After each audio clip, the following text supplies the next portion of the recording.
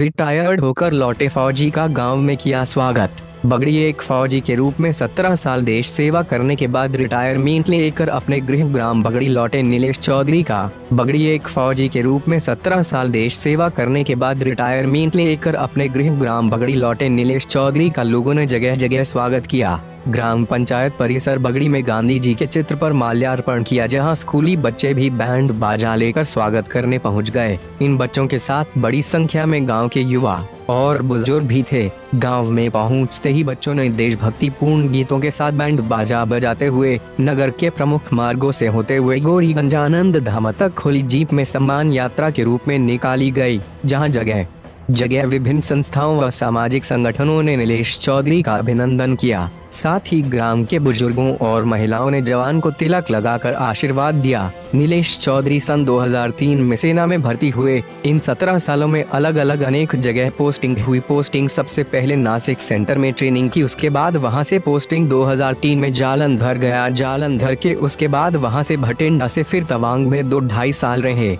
LT में बर्फ़ में उसके बाद वहाँ से फिर अलवर आए। राजस्थान राजस्थान अलवर से फिर जम्मू कश्मीर के पंचगांव शामिल हैं। नीलेश चौधरी ने कहा, यदि ज़रूरत पड़ी तो वे पुनः सीमा पर जाकर देश की सेवा के लिए तैयार रहेंगे। धार ज़िले के नालछा से विनीत जी की रिपोर्ट।